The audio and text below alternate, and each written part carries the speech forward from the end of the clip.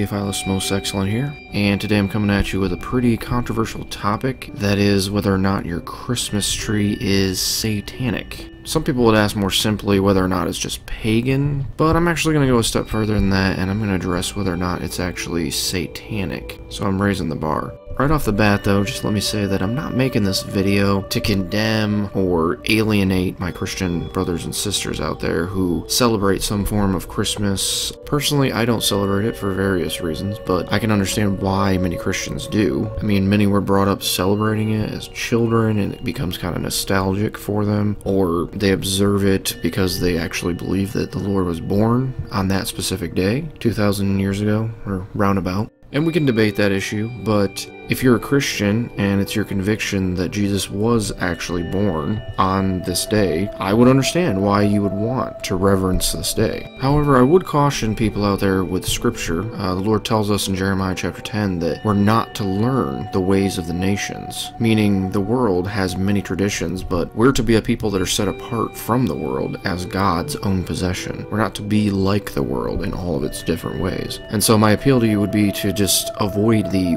worldly aberrations of Christmas. You know, like the many secular traditions that have become part and parcel of the modern Christmas holiday. So, like spending hundreds or even thousands of dollars on Christmas lights, all kinds of decorations and presents, basically materialism, and materialism in that kind of form is spoken against in Scripture. I mean, if you got an extra thousand dollars lying around that you can just spend on some light bulbs, man, give that to somebody who needs it. Give it to charity or missionary fund of some kind. And I know some will say that, you know, the giving of gifts goes back to Jesus receiving gifts on the first Christmas when the wise men came to him. But I would just simply point out that Jesus was presented with gifts because he was God incarnate. It was a form of worship by the Magi who gave them to him, technically. I mean, they were giving him gifts as if he were a king, and they had just finished worshiping him. I mean, should we also worship one another just because that's what happened to the Lord on the first Christmas here in the same exact verse? I mean, don't get me wrong, it's better to give than to receive, but the Lord wasn't speaking about giving out Xbox Ones and hoverboards, he was talking about caring for those who are actually in need.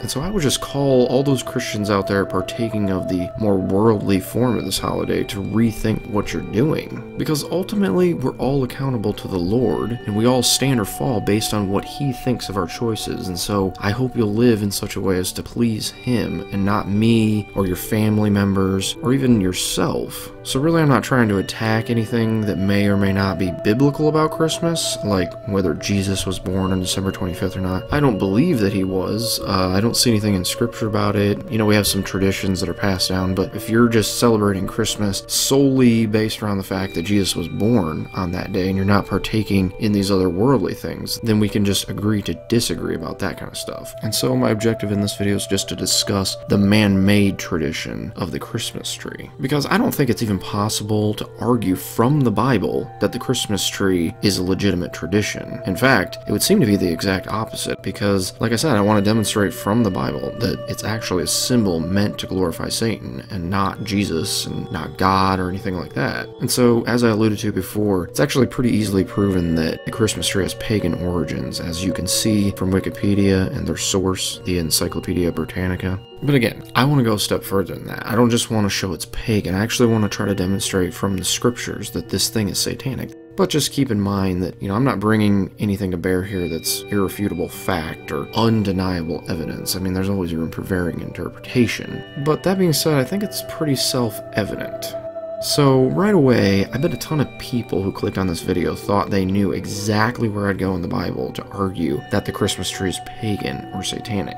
Jeremiah 10, right? A tree from the forest is cut down. You know, they decorate it with silver and gold. Sounds a bit like a Christmas tree, eh? What's worse is I already quoted from that chapter even. But here's the thing. It's not a Christmas tree. I mean, it's talking about idols being made and they're being overlaid with metal and, you know, hammer nails is holding them in place so that they won't fall over and things like that, but definitely not a Christmas tree. Unfortunately, a lot of well-meaning Christians will go to that passage to try to show that uh, Christmas is pagan and the Bible condemns it and whatnot, but Nah, I mean, it tells you right there in that passage that it's talking about idols. So, scratch that. What I actually want to show you, though, is one you've probably never heard before. And so, to begin here, uh, just let me ask you a question. What do trees represent in the Bible? Because if the Christmas tree represents something, what better source to go to to try and figure out what it represents? I mean, if we're putting these trees up in our houses, what does that mean? Especially to God. What would it represent in His eyes? Well, let's take a look at a few verses here and try and figure out what exactly the Bible tries to represent when it uses the symbol of a tree. Well, the first one here, Daniel chapter 4, it's all about Nebuchadnezzar's dream, and Daniel has to come along and interpret it for him. And the interpretation that he gives is actually that the tree represents Nebuchadnezzar himself and his mighty kingdom, that is Babylon, and it's being taken away from him. And that's symbolized by the tree being cut down.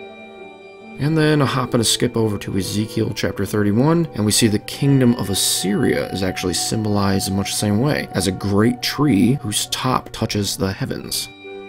And then we have in Isaiah chapter 2, in like manner, we see the prideful kingdoms of man symbolized as various tall trees, and God is saying he's going to bring them down.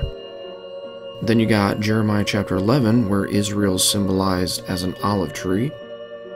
And then you have in Psalm 92 what seems to be the gathering of all the saints in the heavenly temple, and they're being portrayed as trees here. And really, Old Testament verses like these ones could be multiplied exponentially. I mean, it just there's so many of them. But I'll just leave it at those ones. Those ones are pretty right in your face, hard to miss, but I also want to show you some from the New Testament. And so in Matthew 13, you got Jesus and he's telling the parable of the mustard seed where it grows to become this large tree. And this he says represents the kingdom of heaven. And then you have Luke 13, and again, Jesus telling a parable, and it's the parable of the barren fig tree. And a lot of people would interpret this parable as representing Israel and how it's not producing the fruits that God wants. When He comes to get the fruits, they're not there. And the Son of God would be the servant in the parable who's petitioning the Lord, asking for more time. And this would represent like Jesus, He's there with the Jews in Israel, and He's trying to buy them more time, but they won't listen to him and they're not going to produce their fruit, and so they get chopped down in 70 AD by the Romans.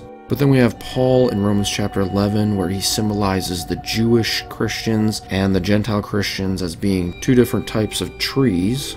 And lastly, in Revelation 9, John seems to connect the trees of the earth to Christians who have the seal of God. And that kind of makes sense of this verse in chapter 7 also, when you look at it this way, as the trees being the servants who are going to receive the seal of God. And that's why he tells the angels not to harm the trees, because he's actually concerned for the servants of God, not just actual trees. But as I was saying before, this is really just a tiny sampling. There's a lot of different symbolism throughout scripture like this, but the cool part is, is that the interpretation of these symbols is consistent throughout scripture. So when trees are used as a symbol in the Bible, it's to represent people or a kingdom, which is really just a large gathering of people. So yeah, Okay, so now that we've looked at these Bible verses, let's put our thinking caps on and ask ourselves the question if we were going to use the Bible as a lens to interpret what the Christmas tree symbolizes, what would we see? Well, obviously, it would be a kingdom or a group of people, because that's what the tree represents when it's used as a symbol in Scripture.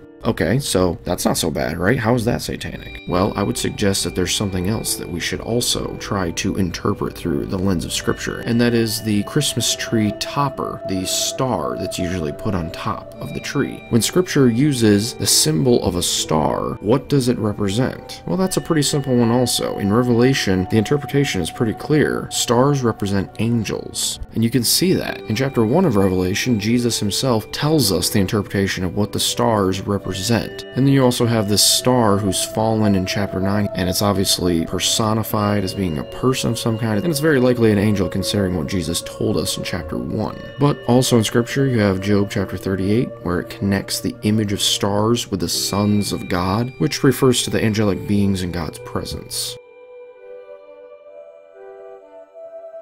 And then back to Daniel chapter 8, it speaks of the Antichrist becoming so great that he throws down some of the stars, which are also referred to here as the host. And this is the same Hebrew word that is often used to speak of the Lord of hosts, and so it's a reference to God's innumerable angelic armies. And so again, the interpretation is pretty clear. Stars represent angels in Scripture. And so again, ask yourself, if we look at the Christmas tree through the lens of Scripture, what would it symbolize? And the answer, if you're tracking along here, would be that the tree itself would represent a kingdom of sorts, and then the star at the peak would represent an angel who is presumably sitting at the highest point of the kingdom, like the king of the kingdom or something like that. Well, we know that Satan is a fallen angel, and so you're starting to see the connections here. I mean, obviously, it's kind of a stretch still, but just hang in there. It gets a little more obvious as you go on here. But let's see here. What else do people put up there on top of their Christmas tree as a Christmas tree topper?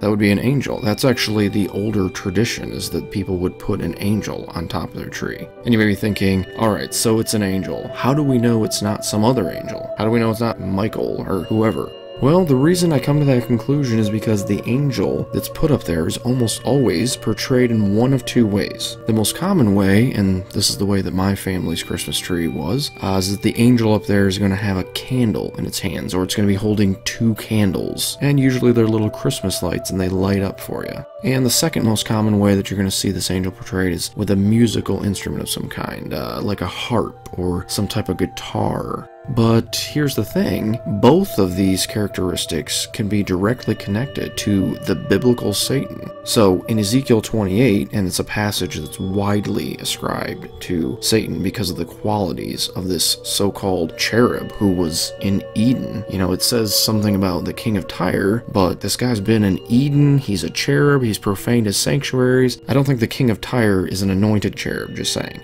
And so a lot of people would see this as Satan but it speaks of how he had musical instruments infused into his body from the day he was created. And the statement has caused many to speculate that Satan was some kind of song leader in heaven before his fall. I mean, I don't know about all that, but you can definitely see Satan's connection to musical instruments here. But what's even worse is that the candle in the hands of this angel is a really obvious allusion to it being Lucifer, and that's the name that's applied to Satan in the book of Isaiah. And you can actually see my video, Is Lucifer Satan, for biblical proof that the two persons are actually one and the same. But here's the thing the Latin term Lucifer literally means light bearer, and that's exactly what you have portrayed in these Christmas tree toppers. It's a light bearing angel. I don't think you can get any more blatant than that. But it gets even crazier because Isaiah 14, where the term Lucifer actually comes from, seems to be what the Christmas tree is actually portraying. Because besides another connection of Satan to the musical instruments again here in this chapter, Lucifer pridefully declares that he will exalt his throne above the heights of the clouds, just like those trees we read about in Daniel and Ezekiel. And he even claims that he's going to set his throne on high above all the stars of God. And remember, that's the angels. But God here essentially says, says, uh, Nope, Satan, I actually have other plans for you. And he claims that Satan's going to be cut down to the ground and he'll become like a fallen tree. And that's why he says, How art thou fallen, O Lucifer?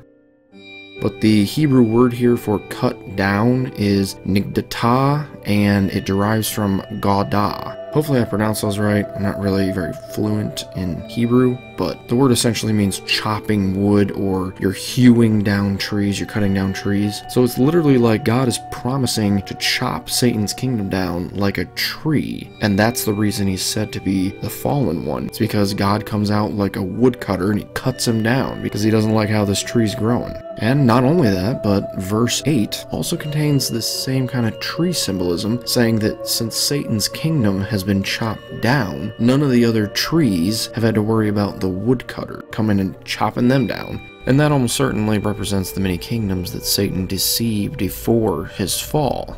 So hopefully you can see here how closely this picture in Isaiah 14 aligns with this symbolism present in the Christmas tree. It all seems to match up a little too well, and I realize this could all just be coincidence, but we have to remember also, this could be the designs of Satan himself. I mean, he knows the scriptures really well. Remember, that's how he tempted Jesus in the wilderness. He tried to use scriptures against him to get him to do what he wanted him to do. And so don't put it past the devil to use scripture to bring glory to himself because he's done it before.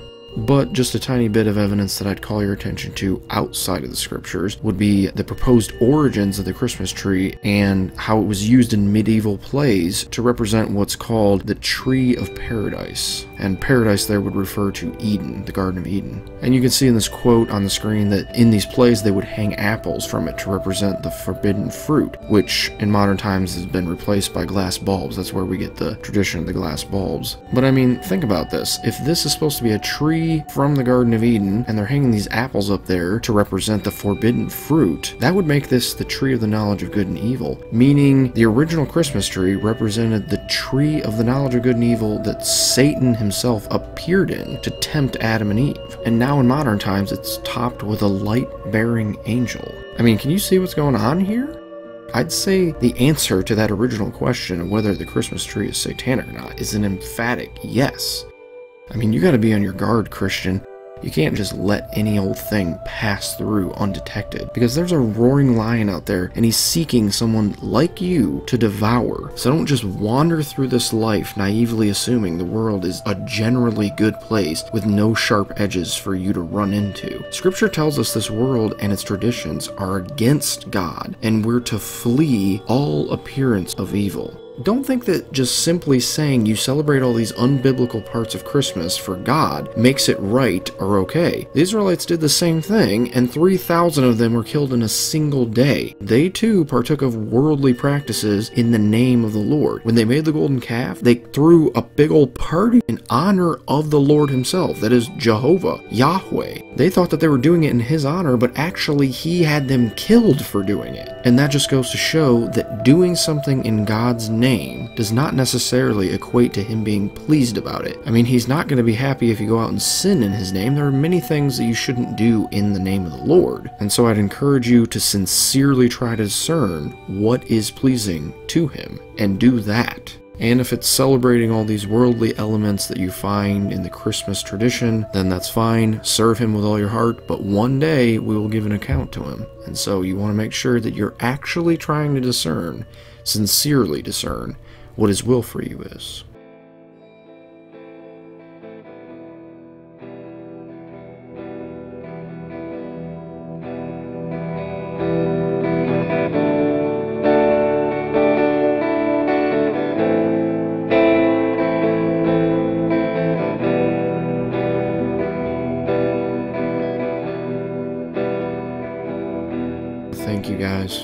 Checking out the video and hope it was edifying in at least some way to you.